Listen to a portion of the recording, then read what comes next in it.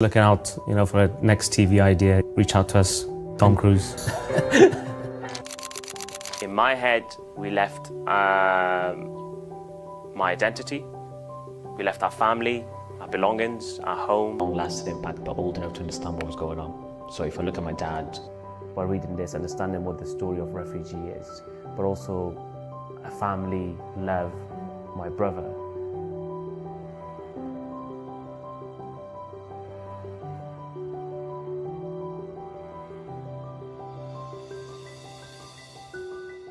America. Get you to the right doctors.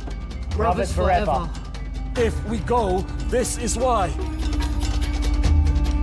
This the speed of it. It's it's crazy when you look back and say that happened in less than 12 months hmm. from no script to script. It's ridiculous. Them to know it is possible to have crazy dreams, right? I want them to know that grief and trauma is something that we all go through in different ways, but we can use that to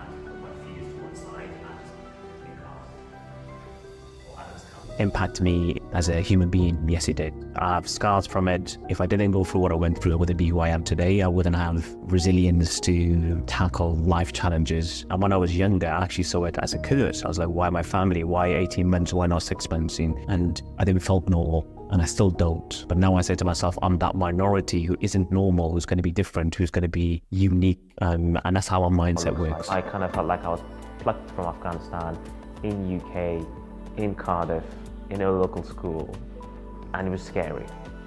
I'm not from here. I couldn't speak English, failed my GCSEs, I failed my A levels, and I had a dream to write a story. And I'm the so called worst case scenario, so you should do 10 times better than me. You already speak English, you're already here, you already have a safe environment. If I've managed to get where, I, where I've got to, you should do 10 times better than me. You should not write one book, but write 10 books. I challenge you to believe on whatever it is that is your crazy dream and keep going.